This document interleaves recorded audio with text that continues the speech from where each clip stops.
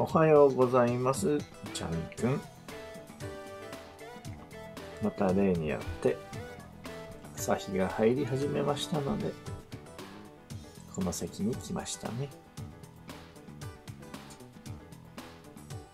ぽんちゃんも声がしたね。おいで。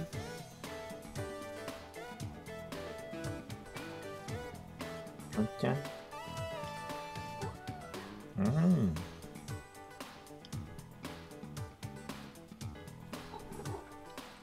はい。仲良しです。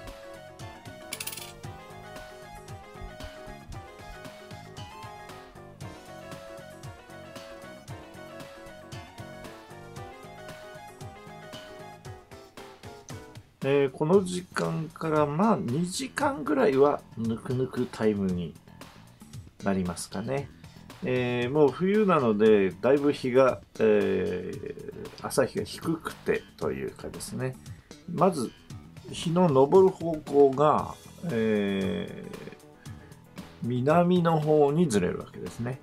ちょうどあのー日の出の方向にちょっと高いマンションがあってですね、えーそこを遮ってくるので微妙に えー当たり方がね、えーもう一つな時があるんですが、今日は、この太陽はもう、マンションよりも、えー南の方から上がってるのね。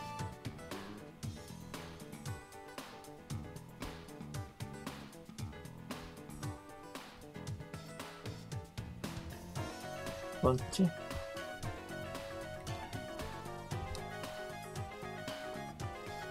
ぽん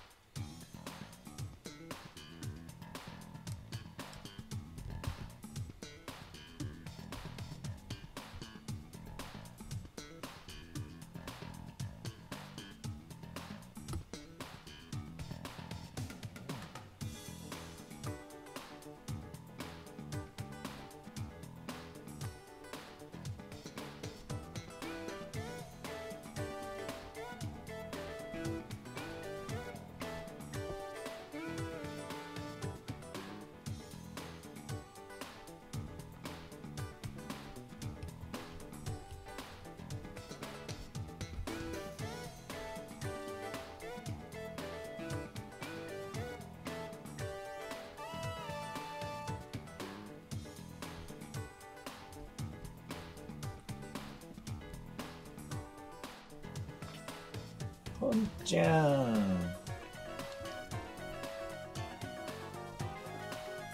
だいぶ温まってきましたか、ぽんちゃん。ジャン君はポッカポカですよ。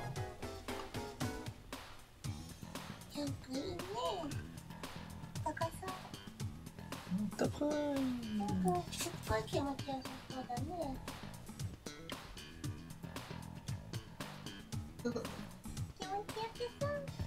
ぽんちゃん、ぽんちゃんはどうなの？はい、ぽんちゃん。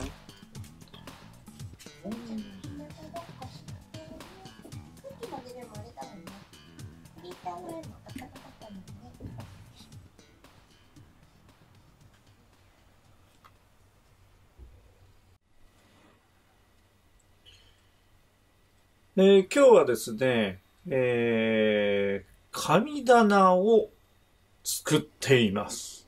なんでしょう？この花に囲まれた、この木は。ゆっくり上げていきますよ。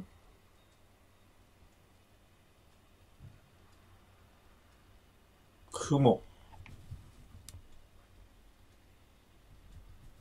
これ、え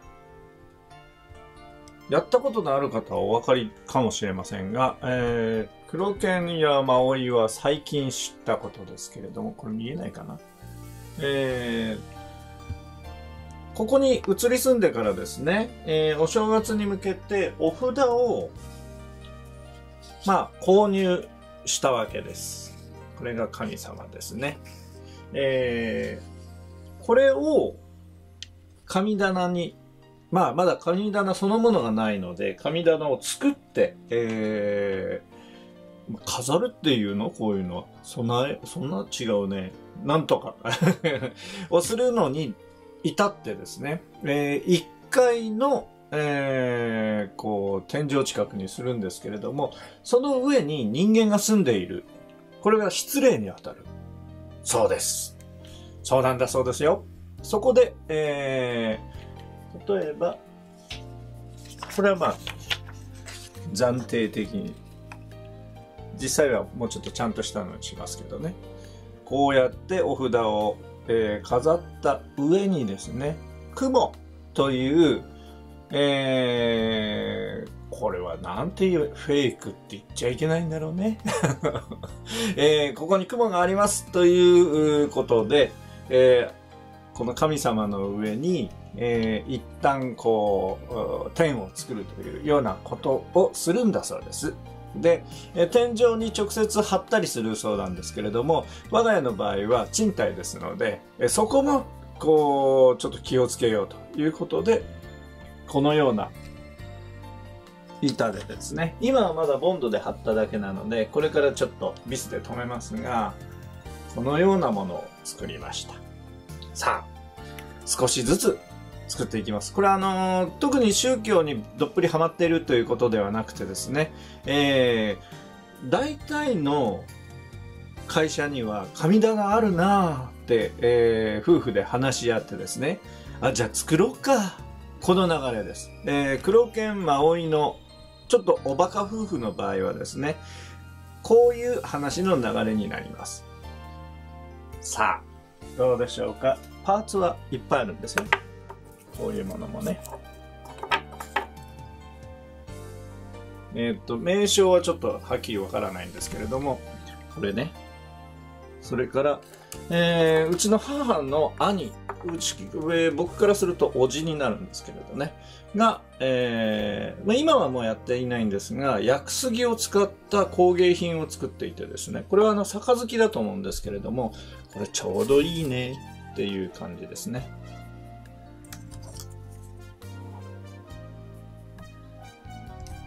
ピントがおかしかった。とかね。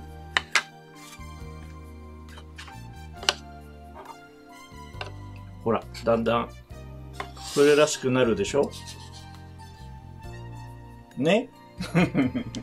えーこのような形で手作りをしています。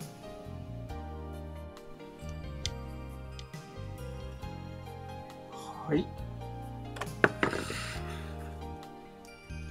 こんな感じです。うだいぶ引かないとわかん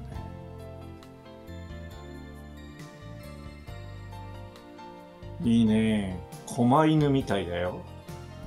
狛猫さん。よいしょ。ちょっとこれを飾ろうかな。